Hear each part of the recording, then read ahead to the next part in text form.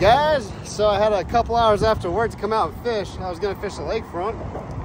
And uh, my friend Cameron over here said, hey, let's go take the boat out for a second. So we took the boat out.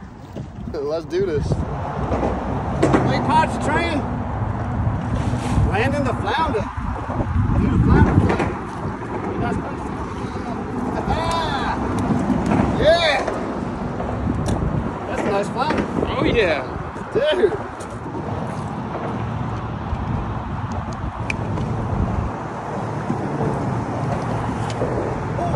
yeah. That's another flounder. Oh, quick. All right. You ready? Yep. Whoop. That's one way to release them. The pansy when it comes to this. There he oh. goes. There you